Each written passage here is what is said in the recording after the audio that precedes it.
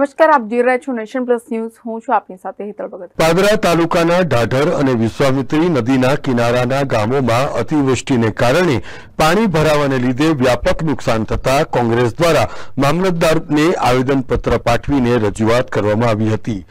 ભારે વરસાદને કારણે પાદરા તાલુકાના ઢાઢર અને વિશ્વામિત્રી નદી કિનારાના ગામોમાં જળબંબાકારની સ્થિતિનું સર્જન થયું હતું. ખેતરોમાં પણ પાણી ભરાઈ જવાને લીધે ખેડૂતોને પાકને પણ વ્યાપક નુકસાન થયું છે. ત્યારે કોંગ્રેસે વળતરની માંગણી સાથે મામલતદારને આવેદનપત્ર પાઠવ્યું હતું. વડોદરા જિલ્લા કોંગ્રેસ સમિતિના અધ્યક્ષ અને પાદરાના પૂર્વ ધારાસભ્ય જસપાલસિંહ પડિયારે મામલતદારને આવેદનપત્ર પાઠવ્યું હતું. આ પ્રસંગે પાદરાના મોટી સંખ્યામાં કોંગ્રેસના કાર્યકરો પણ ઉપસ્થિત રહ્યા હતા. તે ભારે વરસાદથી અને જે પાણી દાઢર નદીમાં છોડવામાં આવ્યું છે, એનાથી ખેડૂતોનું જે તમે કલ્પના ના કરી શકો એટલું નુકસાન થયું છે અને જગતના તાજની આવી દયનીય પરિસ્થિતિ ઊભી થઈ હોય ત્યારે એ ખેડૂતોએ જે વાવેતર કર્યું હોય વાવેતરના એને જે તે વળતર સરકારે તાત્કાલિક સર્વે કરી અને કહેવાતા જગતના તાતને બનતી બધી સહાય કરવી જોઈએ.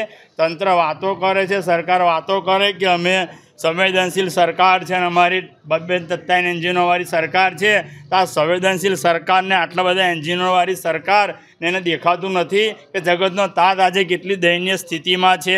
એટલે જગતના તાજ ને જેટલી થાય એટલી મદદ કરો. એ એ જગતનું ખેડ, એ તાજ છે તો આ જગત છે. એ વાત સાથે અમે આજે ખેડૂતોને જે કંઈ નુકસાન થયું છે એનું વળતર યોગ્ય સમય મળે એવી માગણી મૂકી છે. અતિવૃષ્ટિને કારણે તારાત થઈ જનાર ખેડૂતો તેમજ સ્થાનિક રહીશોને સરકાર તરફથી મળતી કેશડોલ અને ઘરવખરીના વળતરમાં સુધારો થાય તેવી પણ માંગ વડોદરા જિલ્લા કોંગ્રેસના અધ્યક્ષ જસપાલસિંહ પડિયાર દ્વારા કરવામાં આવી હતી. વડોદરા શહેર જિલ્લા સહિત પાદરા તાલુકામાં બાર ઇંચ કરતાં વધુ વરસાદ થવા પામ્યો છે જેના કારણે લોકોને અતિવૃષ્ટિનો સામનો કરવો પડ્યો એવી પરિસ્થિતિનું નિર્માણ થયું.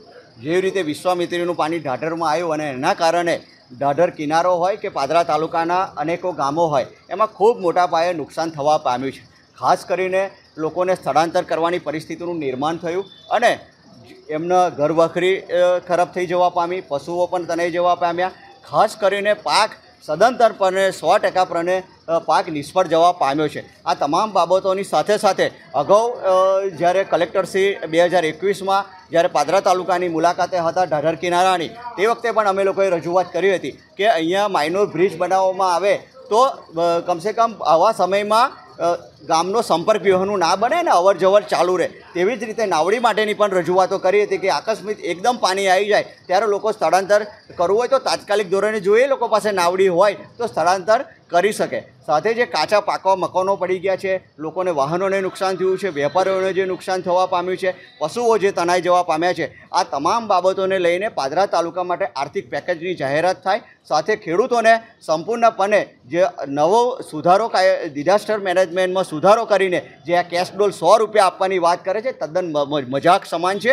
એટલે એ કોઈ સંજોગોમાં ચલવી ના લેવાય. ઘર વખરીને પચીસો આપવાની વાત કરે છે. એ પણ આજના મોંઘવારીના યુગમાં ચલાવી નહીં લેવાય. એક બાજુ ડબલ ને ત્રિબલ એન્જિનની વાતો કરવામાં આવે છે. પરંતુ જો શું સરકારને ખબર નથી કે મોંઘવારીનો દર આટલો વધી ગયો હોય તમે સો રૂપિયા આપો એ કેવી રીતે ચલવી લેવામાં આવે?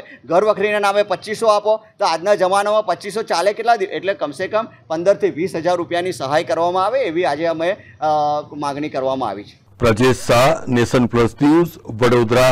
સમાચારોનો સતત અપડેટ મેળવવા માટે અમારી નેશન પ્લસ ન્યૂઝની યુટ્યુબ ચેનલને સબસ્ક્રાઇબ કરો.